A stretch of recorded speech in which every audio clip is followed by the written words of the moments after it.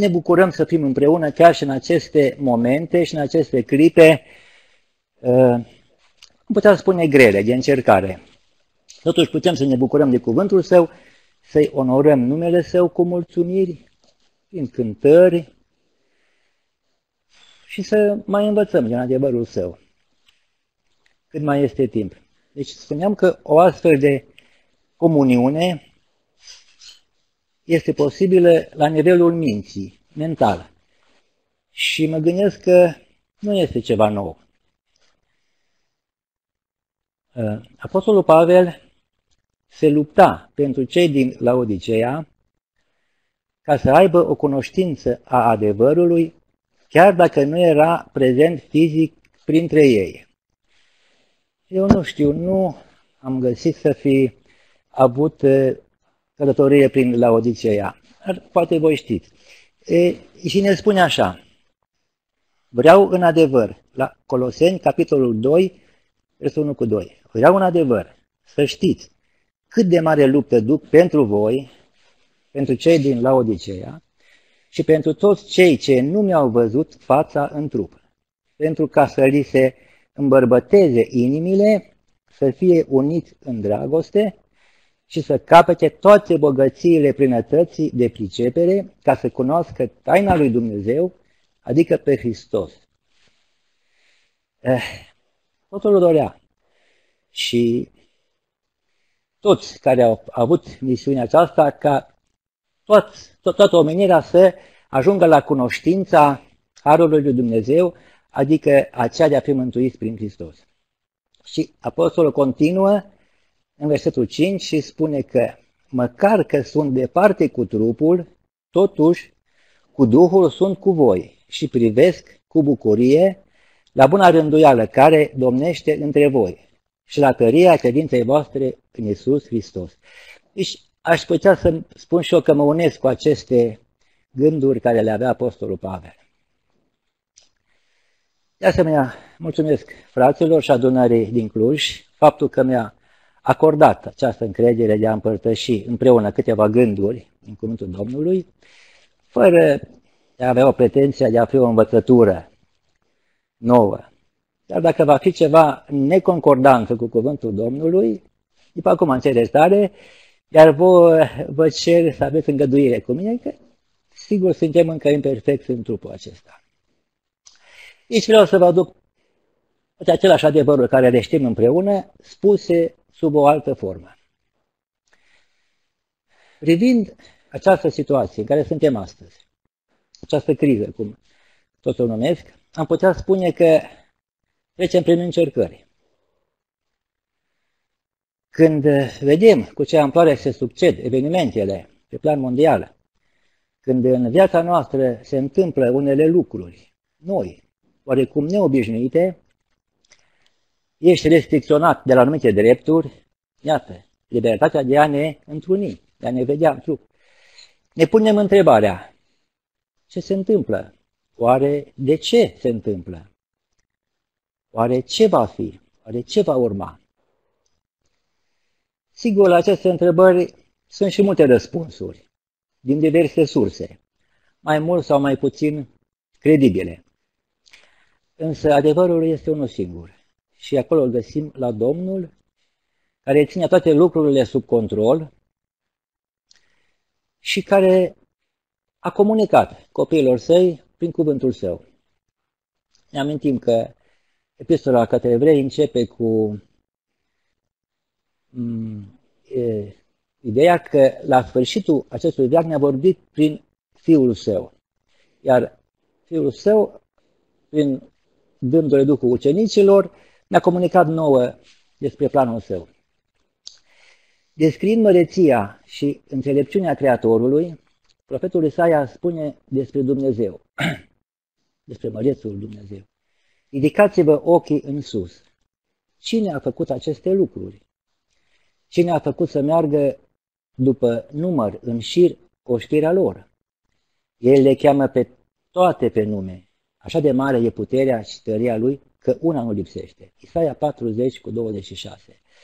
Ehm, am ales acest verset întrucât astăzi o să mai aduce câteva versete din profetul Isaia, un profet foarte îndrăgit mie și cred că și multora.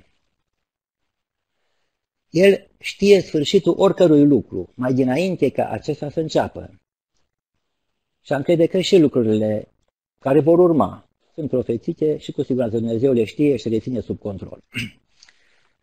Însă noi ne punem întrebarea, cât de mult ne este descoperit nouă despre aceste profeții din cuvântul său? Cât de mult ne este dat să cunoaștem, ne este permis să cunoaștem în acest timp, în acest veac. Și cât de mult l-am căutat pe Domnul în rugăciune, cerându-i ca să cunoaștem aceste lucruri profețite. Ne amintim că unii dintre ucenicii Domnului doreau și ei să știe când a venit sfârșitul. Și ce le spune Domnul? Cât despre ziua aceea sau ceasul acela, nu știe nimeni, nici îngerii din ceruri, nici Fiul, ci numai Tatăl. Deci anumite lucruri Tatăl le ține închise, ascunse. Să totuși, ne amintim că profetul Daniel, fiind rob în Babilon, a văzut din cărți, a căutat, a cercetat cărțile când trebuia să se termine cei 70 de ani de robie. Apoi s-a rugat Domnului. Citim în capitolul 9 cu 3. Și mi-am întors fața spre Domnul Dumnezeu ca să-L caut în rugăciune și cereri, postind în sac și cenușe. După care a primit răspunsul. La fel și noi putem lua acest exemplu. La fel și fratele Rusă spune că adevărul care a fost prezentat în scrierile sale a fost primit în mod miraculos, peste noapte, prin revelație, ci în urma studierii amănunțite, reverențioase a scripturilor, singur sau împreună cu un grup de frați și, în ultimul rând, după multă rugăciune. Și abia după un timp a găsit răspunsul. Sigur, cum spuneam, sunt unele lucruri care nu ne se da să le cunoaștem. Și spune cuvântul Domnului în Deuteronom 29 cu 29, lucrurile ascund, ascunse sunt ale Domnului, Dumnezeului nostru, iar lucrurile descoperite sunt ale noastre și ale copiilor noștri. Acum, noi ce am putea spune? Deocamdată un lucru este cert. Avem parte de încercare. Și nu numai noi, ci se pare că lumea întreagă. Oare ne găsim acum în ceasul încercării pentru lume? Apocalips 3 cu 10. Știți versetul acesta. Fiindcă ai păzit cuvântul răbdării mele, te voi păzi și eu de ceasul încercării, care are să vină peste lumea întreagă, ca să încerce pe locuitorii pământului. Dar oricum, nu ar trebui să ne îngrijorăm, mai degrabă avem motive să ne bucurăm. Și recitind, amintindu-ne versetul din epistola Apostolului Iacov, care începe cu un sfat și un îndemn. Frații mei, să priviți ca o mare bucurie când treceți prin felurite încercări. Sună oarecum ciudat. Și totuși, haideți să primim lucrurile din alt unghi. Oare ce am fi făcut dacă aceste restricții la întruniri ar fi avut loc în urmă cu circa 15-20 de ani, când nu era această posibilitate de comunicare de la distanță? Sau, dacă în continuare am fi încercat și prin restricții la acest mod de comunicare, și aceasta nu este imposibil, vedem cum se întâmplă acum în China. În urma izolării au crescut întâlnirile pe internet, ori statul le-a oprit, le-a interzis. Deci și la noi ar putea să apară asemenea restricții. Și nu ar fi aceasta o încercare și mai aspră? Însă cum spuneam, toate acestea sunt îngăduite de Tatăl nostru cu un scop. Ca unii care știți că încercarea credinței voastre lucrează răbdare. Dar răbdarea trebuie să-și facă desăvârșit lucrarea, ca să fiți desăvârșiți, întregi și să nu duceți lipsă de nimic.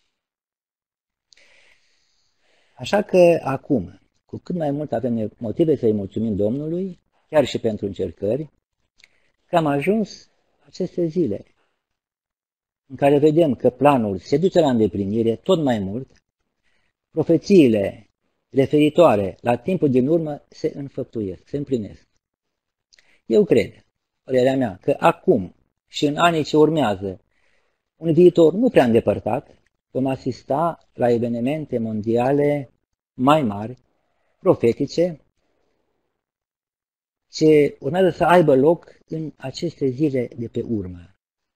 Și va marca sfârșitul acestor stări de lucruri, care vor marca aceste. Ca și descriere a timpului zilelor noastre, menționate în Biblie, ă, aceste zile se încadrează perfect la descrierea Apostolului Pavel din epistola sa către Timotei, capitolul 3, la 1 până la 4. Ă, noi citesc, voi le știți, să știți că în zilele din urmă oamenii vor fi răi, credincioși și mai departe. Despre aceste zile a scris și Apostolul Petru, în a doua sa epistolă, capitolul 3, și spune cum va fi sfârșitul acestei dispensații. Că cerul de acum, noi aici înțelegem cerul spiritual, și pământul de acum, pământul vechi, vor trece cu un trosnet, înainte de începerea noii dispensații. Citez din 2 Petru, capitolul 3, cu 13. Ziua Domnului însă va veni ca un hoț. În ziua aceea cerurile vor trece cu trosnet, trupurile cerești se vor topi de mare căldură și pământul cu tot ce este pe el va arde. Sigur, cine știe când vine hoțul? Nimeni nu vine, că atunci ar sta de pază, însă totuși trebuie să fim pregătiți și să veghem. Exact ce ne spunea Domnul Isus, că în ziua aceea nu știe decât Tatăl și totuși spune, vegheați și rugați-vă. Dar noi, după făgăduința Lui, așteptăm ceruri noi și un pământ nou, în care va locui neprihănirea. Pământul de acum, cum este? Geme sub grevătatea păcatului. Isaia 24 cu 20. Am putea spune că este un final de tranziție, dar și că încă mai este un timp de favoare. Ne amintim de anii 70 când Ierusalim a fost distrus, ars, că a fost un timp mic de favoare în care cei care au cunoscut profeția s-au retras la munți, în timp ce armatele romane au fost retrase pentru o perioadă și au avut timp să-și scape viața. La fel și noi.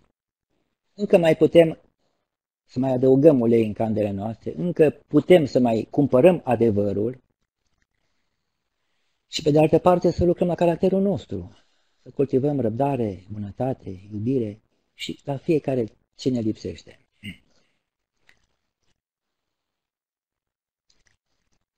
Cu alte cuvinte, cei aleși să poată fugi în munți să-și scape viața. Iar ultimele membre ale mădularului Hristosului complet să fie încercate să ajungă la desăvârșire pentru a putea fi mem mădulare, membre în corpul lui Hristos.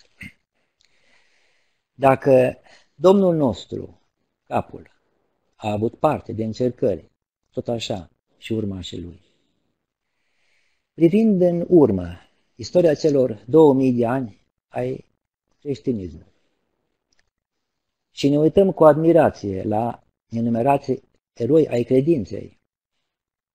Și mă refer aici la cei care au suferit purtând numele de creștin, încă de pe timpul Apostolului Pavel. Vedem că toți acești sfinți ai Domnului au fost încercați. Fără să vorbim de acei vrednici din vechime, care sunt menționați de Apostolul Pavel în epistola către evrei, care, de asemenea, fiind încercați, au fost găsiți ca fiind acceptați de Dumnezeu. Și Biblia ne spune că au fost lăudați pentru credința lor. Adevărații purtători ai steagului adevărului în acest veac evanghelic, în încercarea credinței lor, a realității lor față de Domnul, față de adevăr, fără a face niciun compromis, la adevăr, au mers cu capetele ridicate până la moarte, fie în arenele leilor, fie la sabie, la rugul aprins, sau au fost chiar crucificați. Ne amintim de unii martiri ai credinței și aș vrea să amintesc aici câțiva adevărați reformatori ai credinței, aceste lumini peste veacuri. Citesc câteva nume. Ă, am luat dintr-o carte, este o broșură mică albastră, vă recomand și vouă, spune Lumini peste veacuri. Adevărate, adevărați eroi care au purtat flacărul, flacăra adevărului cu prețul vieților. Aș aminti aici pe un Wycliffe, care a fost numit luceafărul de dimineață al reformei, delegatul Angliei. Apoi Girolamo Savonarola, care, trăind în întunericul papalității corupte al Italiei, a scos la lumină adevăruri biblice. A fost un critic al moravurilor societății religioase al epocii sale. Apoi un Ian Hus, care, de asemenea, un reformator și un militant zelos împotriva ereziilor papale, care a dat scânteia adevărului în Cehia anilor 1400, acesta aprinzând în inima lui Jerom sau Eronim de Praga, un elev al său, un alt purtător al luminii adevărului, într-o lume întunecată, în bezna misticismului, a deschis, a, a crescut o dorință arzătoare de a continua mesajul Evangheliei Mântuirii și a ținea sus cuvântul adevărului, având parte de aceeași moarte ca a mentorului său, rugul aprins. Apoi a fost un Luther, la circa 100 de ani după aceștia, în lupta sa împotriva ereziilor, a publicat cele 95 de teze în anul 1517, puse exact pe ușa Bisericii Papale. În urma acestui act s-a pus bazele mișcării protestante. Un Calvin, un Zwingli, John Knox și mulți alți eroi, mai mulți sau mai puțin cunoscuți de noi.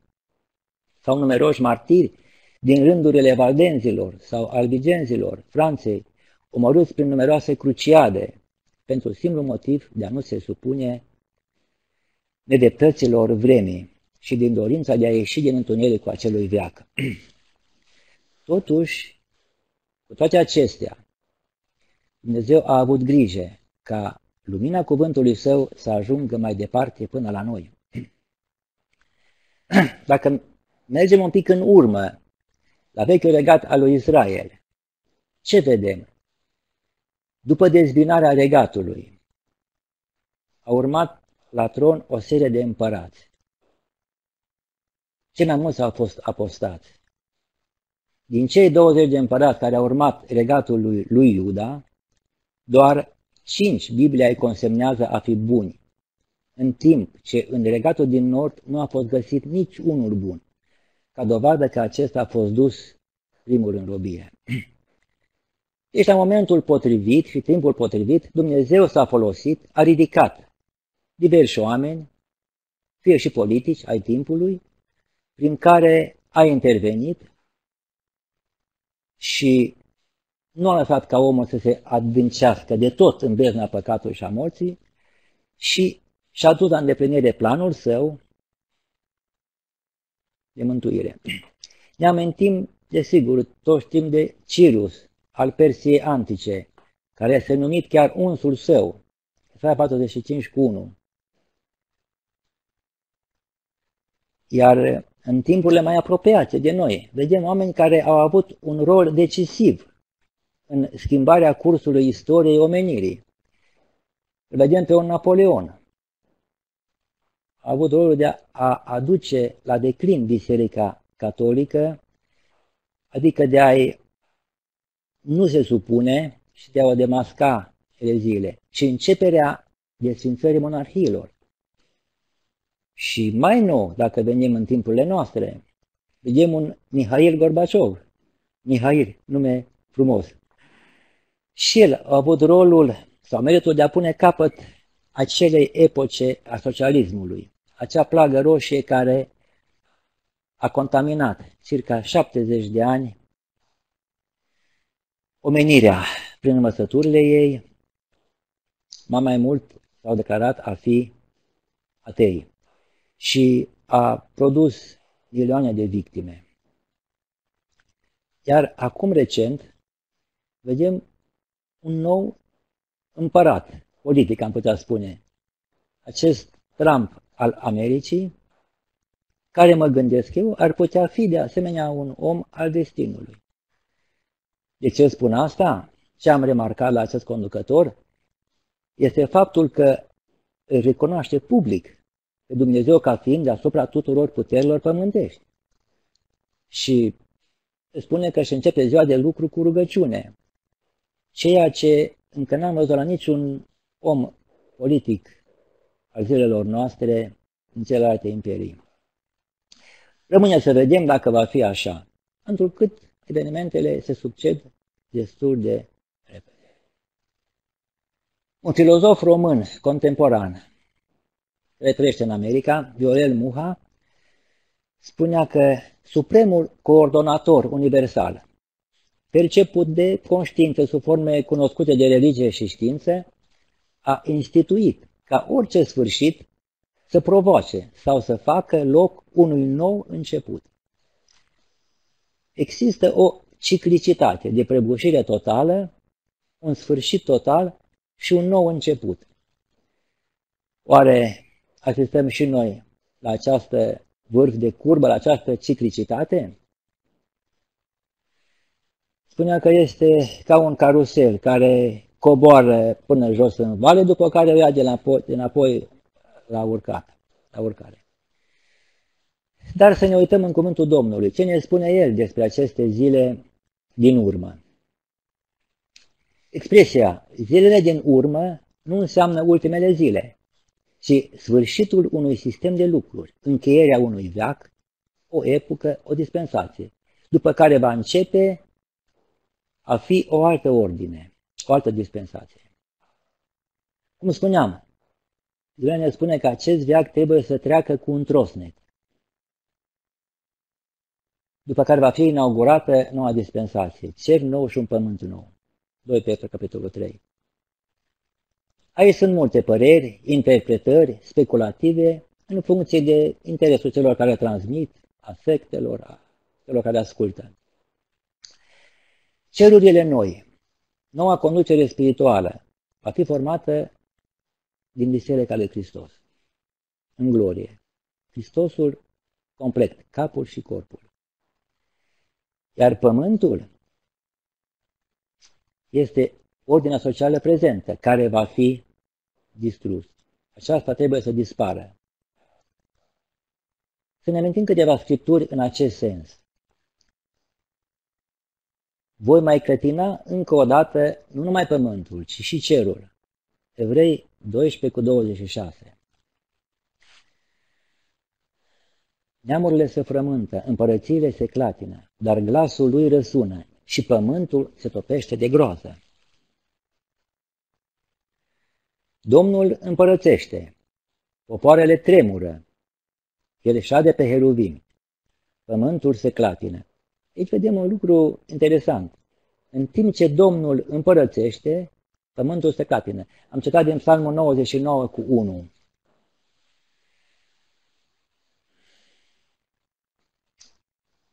Și din nou revenim la profeția lui Isaia, pentru aceasta voi clătina cerurile și pământul se va zgudui din temelia lui, de mânia Domnului oștirilor, în ziua mâniei lui aprinse. Isaia 13 cu 13.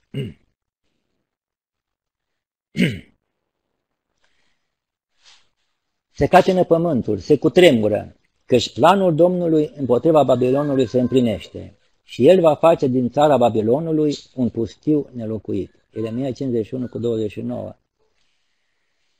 Și versetele ar mai putea continua. Oare nu vedem noi acum o clătinare a acestor, a acestui pământ, a acestei societăți.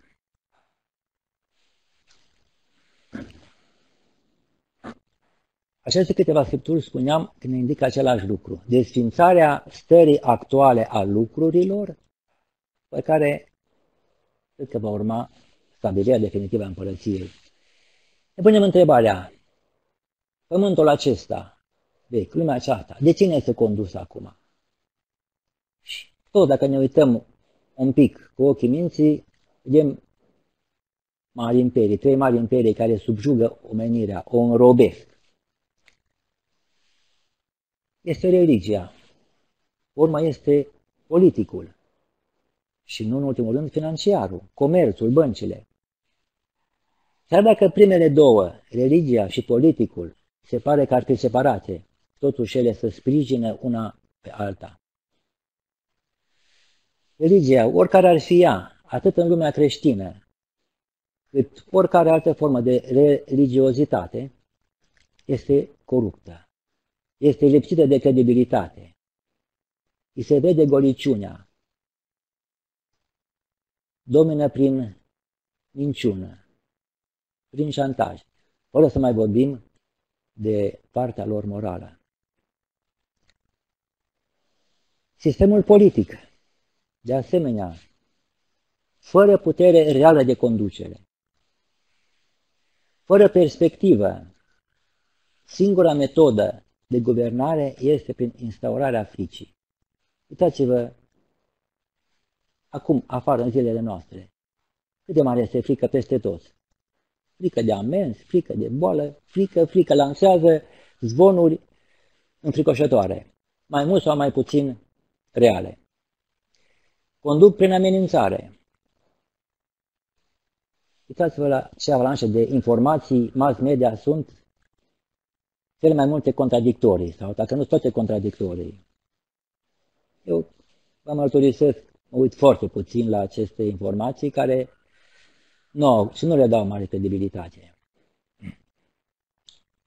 Îi spuneam, politicul nu oferă soluții la problemă. Este o clasă conducătoare neinteresată de societatea umană. Bolnavă, neputând găsi remediu. Un mare filozof spunea, în urmă cu 10-15 ani am auzit, omenirea este pe punctul de a nu se mai putea autoguverna. Sistemul financiar oricum și înainte, fiind total dezechilibrat din cauza acumulării imenselor bogății în mâna unor puțini, în timp ce o treime sau mai mult din populație suferă de malnutriție sau mor de foame și asta în timp ce în lumea civilizată, Europei sau Americii, este o risipă de hrană. Despre acești bogați ai lumii scria și pastorul Russell cu circa 100 de ani în urmă, în volumul 4. Și și astăzi acest, acest, aceleași nume care le amintea el acolo în volum figurează pe lista celor mai bogați oameni ai lumii, între fiind copiilor sau urmașilor. Despre aceștia a scris apostolul Iacov în capitolul 5, la 1 la 6, Vai de voi, bogaților, v-ați strâns bogății din urmă. Stați să poate găsim versetul. Dar voi știți versetul. V-ați strâns bogății în zilele din urmă. Plata cătorilor, nu pot să citesc din memorie.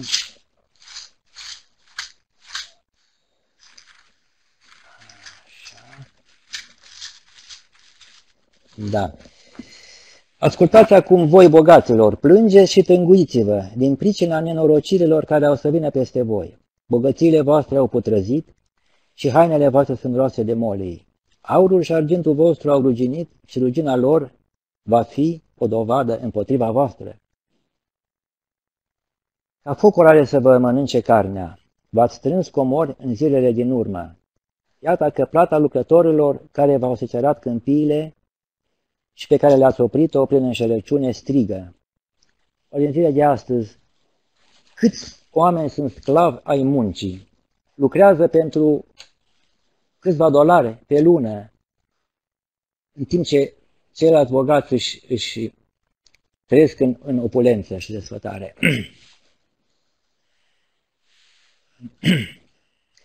Sistemul bancar stă pe un echilibru atât de șubred, cu toate acestea că și-au adunat bani, marele bănci mondiale se sprijină una pe alta. Este ca un castel construit din joc, din cărți de joc. Atunci când cade una, cad toate. Și se pare că este un cutremur sau va fi un cutremur financiar. Dar oare nu ar fi posibil remedierea acestor lucruri, o redresare a lor? Nu. Am voit să vindecăm Babilonul, spune profetul Ieremia în 51 cu 9, dar nu s-a vindecat. Părăsiți-l și haidem fiecare în țara noastră, căci pedeapsa lui a ajuns până la ceruri și se înalță până la nori. Acest verset vedem o soluție unică, părăsirea, ieșirea totală din lume, fără a ne uita înapoi, în cazul în care n-am făcut-o. Dar se pune întrebarea, și unde să ne ducem? Mulțumim Domnului, avem unde. Matei 11 cu 28. Veniți la mine, toți cei trudiți și împovărați, și eu vă voi da o dihnă. Unde căutăm refugiu a Domnului. Nu în știrile mass media, nu în mari conducători ai lumii, fie chiar și oameni ai destinului, refugiul este la Domnul. Domnul va lucra prin aceștia sau prin cum consideră. Iarăși, Isaia 26 cu 20. Du-te, poporul meu, intră în odaia ta și încuie ușa după tine. Ascunde-te câteva clipe până va trece mânia. Să vedem o speranță, ajutor, până va trece mânia. Căutând în Scriptură, vedem că Dumnezeu, în planul său înțelept, a hotărât mai dinainte că răul nu va domni veșnic pe pământ. Și din nou, profetul Isaia, totuși, întunericul nu va împărăți veșnic pe pământ, în care acum este necaz. Capitolul 9 cu 1, în Isaia. Cine va fi nimicit? Omul? Nu. Domnul nu dorește moartea păcătosului. Nu, răul va fi nimicit. Nu spunem, aș vrea să ne oprim câteva, câteva gânduri asupra profețiilor din Isaia, o carte atât de bogată în informații. Spuneam că în mine tare mult mă fascinează, ori de câte ori citesc că ne găsesc mai multă mângâiere decât întristare.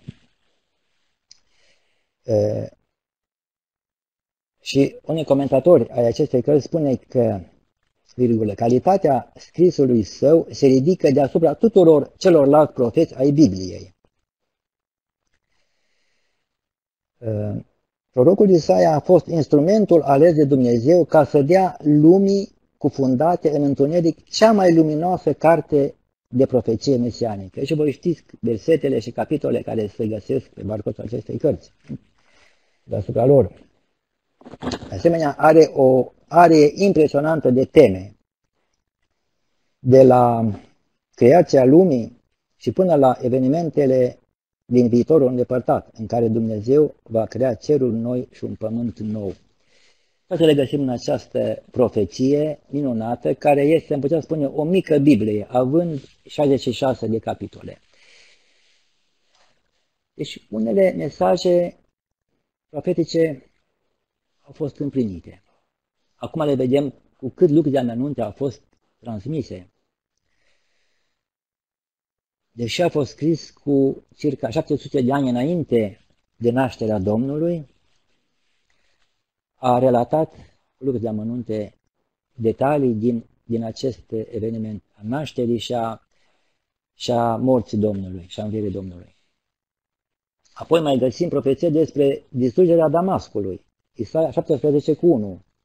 Uitați-vă astăzi la ce a mai rămas din el, după câțiva ani de război. Parcă nu se mai termină războiul în Siria.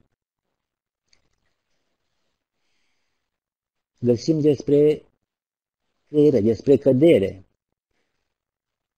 și multe alte profeții. Dar văd că timpul se apropie. Am să mă rezum la mai, la mai puține. Vedem?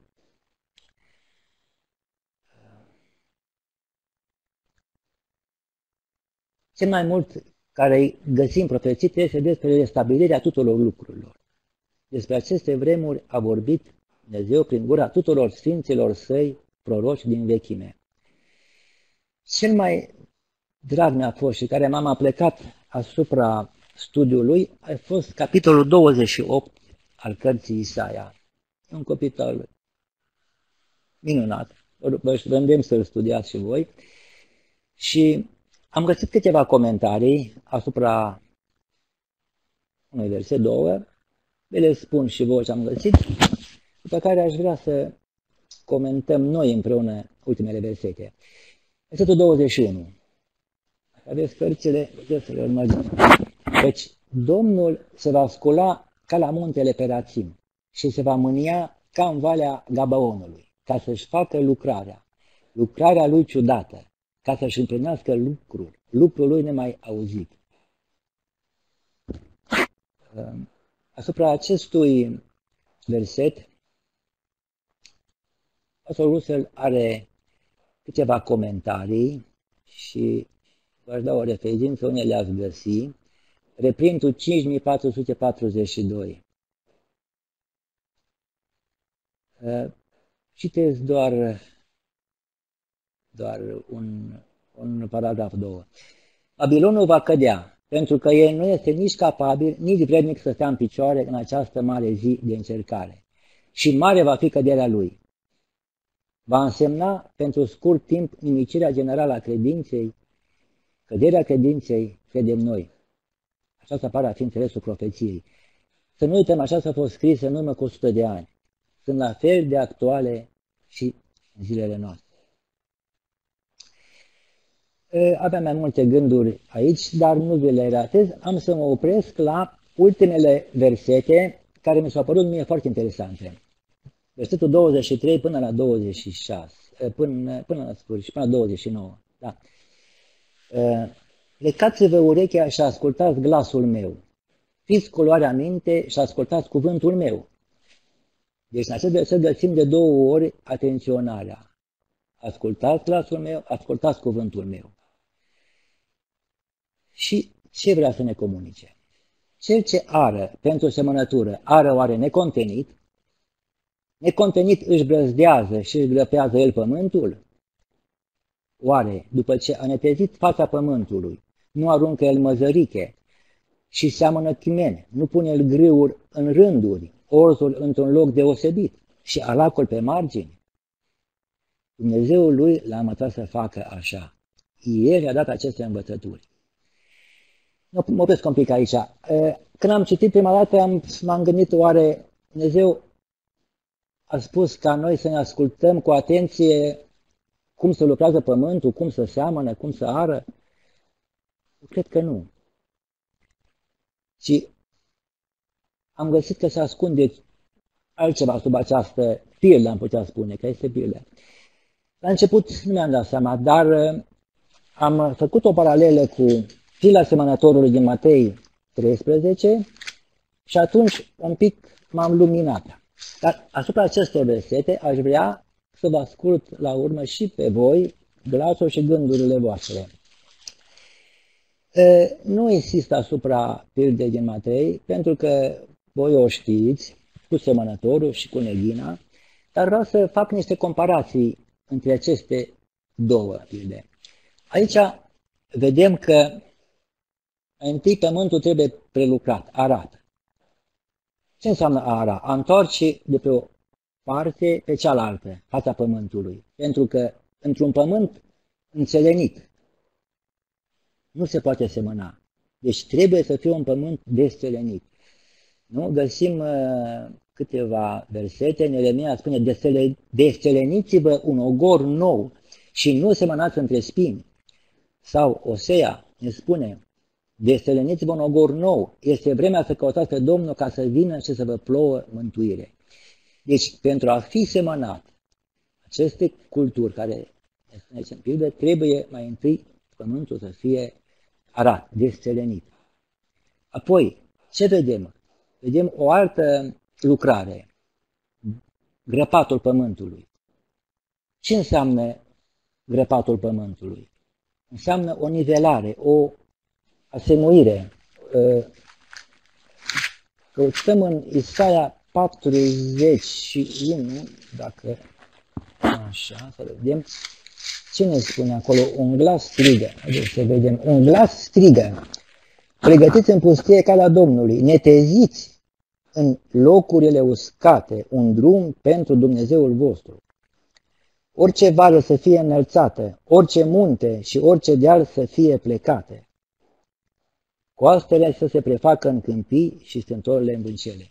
Deci o asemănare a pământului, o, o asemănare a societății, fără vârfuri înalte a societății și groape adânci al mocirile și ale suferinței. Deci o asemănare.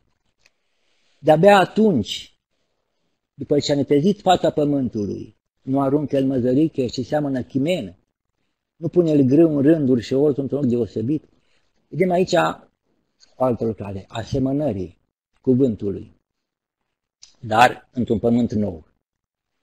Și aici vedem două, două feluri de sămânță. Măzărichea și chimenul sunt niște, nu sunt cereale, sunt niște leguminoase care au și ele rolul nutritive, au și ele rolul lor în alimentație, însă nu atât de, numero- de hrănitoare cum este grâul, orzul sau alacul.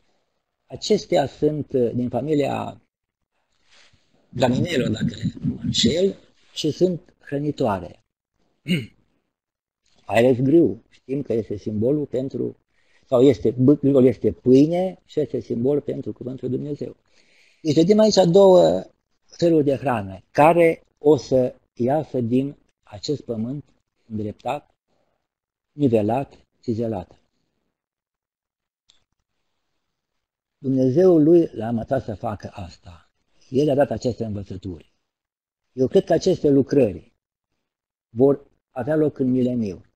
Repet, este gândul meu și voi puteți să aveți alte gânduri în mileniu și le va face, sigur, Hristos cu biserica.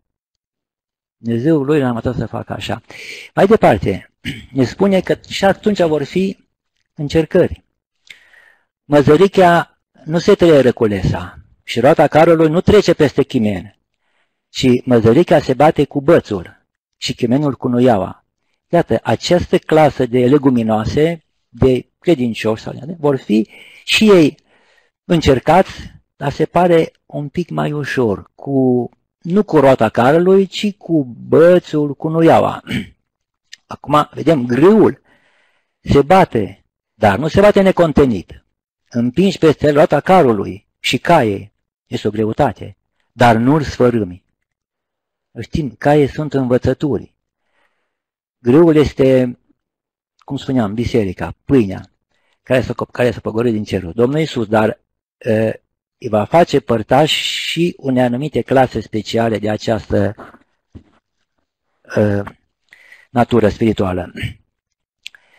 Deci, clasa grâului va fi încercată un pic mai tare, prin învățături învățături tare și prin uh, alte greutăți.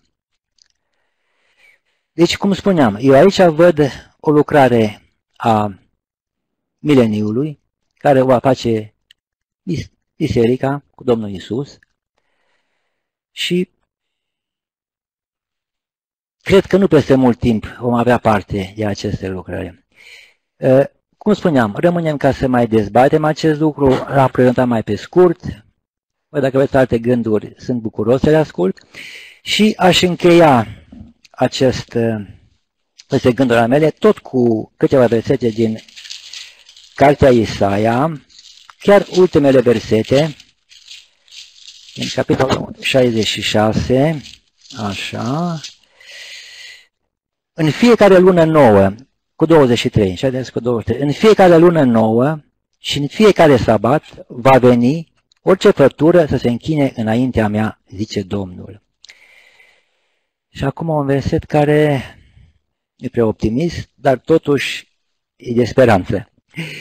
Și când vor ieși, vor vedea trupurile moarte ale oamenilor care s-au răzvrătit împotriva mea, căci vermele lor nu va muri și focul lor nu se va stinge și va fi o pricină de groază pentru orice făptură.